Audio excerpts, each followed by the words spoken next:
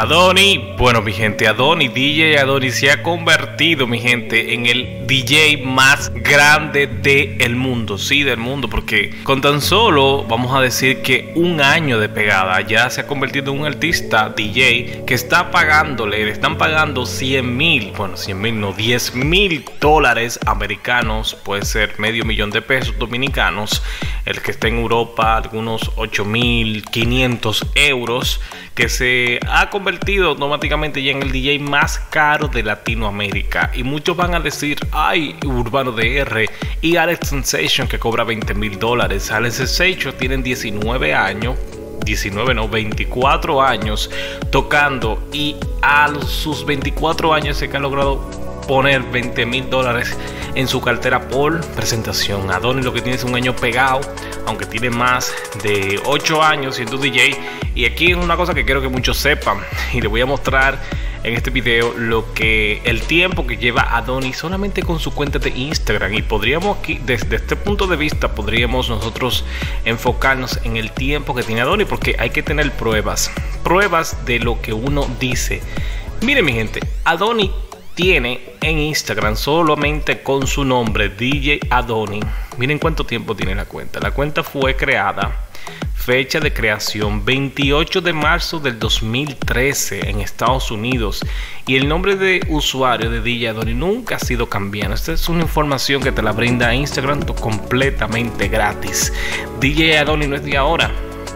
Gente sequilla No, pero DJ Adoni, si él es Sensation, compra 20 mil dólares y tiene 20 años tocando, está bien. Adoni tiene 10 años tocando y cobra 10 mil dólares. Está proporcionalmente, vamos a decir que está bien. Pero Ale Sensation tiene casi de esos 20 años, debe tener algunos 15 o 17 años pegado, pegadísimo, porque Ale Sensation, aparte de que es un DJ neoyorquino, Ale Sensation es un DJ que ha estado con Aventura, Romeo Santos, eh, que muchos grandes le han dado ese, ese nombre de Alex Sensation, se lo han puesto bien puesto como para muchos el DJ más duro de Latinoamérica, aunque el que más cobre a nivel de proporción, a nivel de tiempo, es este señor DJ Adoni. Y yo vengo ahí, muchas personas dicen, no, que DJ Adoni, pero que DJ Adoni no se le ve lo cual. Mi gente, DJ Adoni para mí, para mí, se va a convertir en el primer DJ a nivel latino en comprarse, el primer DJ en comprarse un Lamborghini. Tienes que hacerlo, Don. Tienes ya que, ya estamos bien de pinta, estamos bien de, fama, estamos bien de todo, pero ahora tienes que tocar tu Lamborghini. Tienes que comprar tu Lamborghini, o si no, múdate de tu casa, DJ Adoni. Tienes que comprártelo. Y por ahí, por ahí tengo unos cuantos vehículos que podríamos decirle al señor Adoni que se lo compre, podríamos recomendarle un Lamborghini Huracán, que es el mismo que tiene el Alfa, un carro 2016, 2017, es una monería de carro, o sea, Adoni con ese carro llega a las fiestas y hay que subirle el precio, no, a, no los 10 mil, hay que ponerle 5 mil dólares más para que el señor DJ Adoni se convierta en el grande, en el más grande DJ latinoamericano, mi gente. Y después de ese, yo entiendo y sostengo de que Adoni se puede comprar también un Lamborghini Aventador, el Aventador. Ese carro, ese carro para mí es uno de los carros más preciosos de la historia de la humanidad. Tiene una dimensión, lo he podido ver, lo he podido ver, no lo he montado, no me lo he comprado tampoco, esto no da tanto para comprárselo.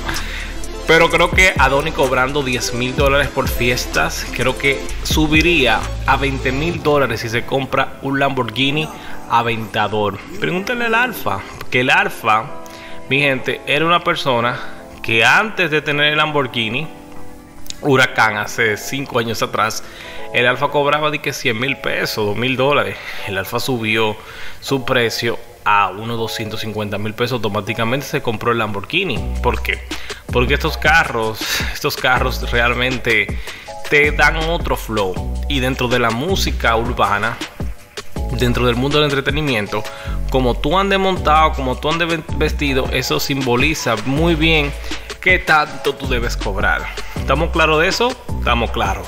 Entonces, eh, vamos a hablar de algo profundo. O sea, lo que simboliza para el mundo del entretenimiento tú tener un carro de última, mi gente. El, carro de última es completamente importante y más cuando tú estás subiendo y estás volviendo un artista internacional. Hay gente que no entiende esto todavía, de que hay ciertos artistas y personalidades que compran vehículos de lujo para yo poder estar a nivel, gente que no te, tra Oye, te tratan diferente. Pregúntale a Foque que compró la, la Maserati. ¿Se acuerdan? Que andaba en Honda Accord y después se compró el Maserati. Era por eso, era porque hmm, te exigen demasiado. Entonces, el señor Adonis tiene que hacer eso, tiene que ahora montarse bien. Aunque él se ve como que un tipo como que, como que vive feliz vive feliz, vive feliz con lo básico, como que no se le ve un tipo muy presumido en el sentido de las cosas que anda, anda sencillo. Ahora con Farruko anda un poquito más moderno, más fashionista el señor Adoni. Así que ya mi gente, lo voy a dejar hasta aquí porque sí, porque lo voy a dejar hasta aquí. Le voy a dejar una un breve, resumen de lo que había subido anteriormente. Así que ya saben, suscríbete al canal y nos vemos en la próxima. Dios. Cada 700 personas, el alfa Oye, voy a hacer cálculo aquí. Si por cada 700 personas vende medio millón de dólares, en media hora, imagínense que fuera una hora y media, hubiera vendido un millón y medio. El alfa por cada hora vende un millón de dólares. Con 700 personas. Yo hago, yo hago el cálculo. Yo hago el cálculo. El alfa puede ser que venda 14 millones de pesos, de dólares. Claro, porque el cada. Oye, analicen esto. Si con 700 personas él vende medio millón en media hora. Multipliquen eso, que sean 20 mil personas, no en media hora, sino en una hora y media de show. Vamos a poner una hora y media de show, que yo sé que va a ser más largo el concierto, pues. Que dure dos horas. El Alfa fácilmente te vende 14 millones de, dólares, 15 millones de dólares, 20 millones de dólares se hace. ¿Ustedes creen que es, una cosa, mi gente? Ustedes, yo sé que, claro, en cada discoteca, eh, consumo es diferente que un concierto. Un concierto se genera dinero también de la venta de, bebida, de, de, snack, o sea, de, picaderas. Estamos clarín, clarín, clarinete de que sí, de que es así, que es diferente a una discoteca donde se, se vende cosas caras. Pero ustedes no creen que en Estados Unidos no es como, no es como en República Dominicana, que en República Dominicana lo único que te venden son Coca-Cola, una latica de cerveza y no, no, allá fácilmente tú compras, te, te ponen una, una champaña te le ponen una champaña, pero tú tienes que tomártela ahí mismo en copitas de, de plástico. Porque ustedes saben que no se puede tener cristal en un concierto multitudinario porque eso es peligrosísimo. Ustedes me entienden, pero quién sabe si ponen una zona VIP donde la gente su champaña se la bebe ahí con todo y copa de, de, de, de vidrio. ¿Verdad? Puede ser.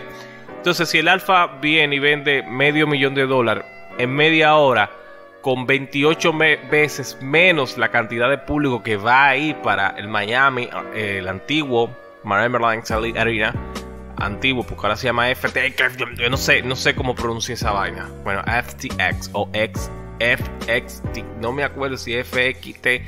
No sé por qué cambiaron el nombre del Miami Airlines Arena. Vamos a tener que, discutir eso con no sé con quién. Conchole, ¿por qué le cambiaron el nombre tan fácil que era Miami Airlines Arena? Arena, el Arena. Arena en Miami era lo más fácil antes. Pero no, ahora hay que pues, FTX, ahora hay que mencionar el nombre. Pero nada, ellos pagaron unos millones de dólares por eso mismo y lo lograron. Estamos hablando de FTX, que nadie sabía que era eso. un amigo, un amigo de allá de Miami me, me, explicó lo que es FTX, mi gente. Así que puede ser que yo yo le digo a ustedes lo que es FTX, porque mucha gente está preguntando qué rayo es FTX. Me dice que es Fiddle Tree Training Exercise. O sea que es una de las compañías de cripto y lo que están vendiendo y inventaron fotos exclusivas, lo que hizo Zuna. ¿Sabes lo que hizo Zuna de la cripto? De la cripto, esa vaina. Que hizo la criptomoneda como los bitcoins de Osuna. Eso hizo esa empresa. Esa empresa se encarga de eso. De empresa, Dios mío. Eh, me dijo esa, persona que esas empresas son usadas en Miami. Eh, es como una agencia de cambio y de compra de cripto. O sea, tú puedes comprar Bitcoin ahí, tú puedes hacer esto. Ellos dieron clase. Ellos dieron una clase bien buena como... Uh, esto fue lo que me escribieron, estoy diciendo. Estoy tratando de... Bueno. El punto aquí es que FTX es el estadio donde el Alfa, el estadio no, el, arena, donde el Alfa va a demostrar qué tan duro es en Miami. Pero qué tan duro, duro, duro nivel, Dios. Ustedes saben que el Alfa va a llegar lejísimo. Va a llegar lejísimo. Y ya se han anunciado tres fechas. Madison Square Garden. Eh, Madison Square Garden.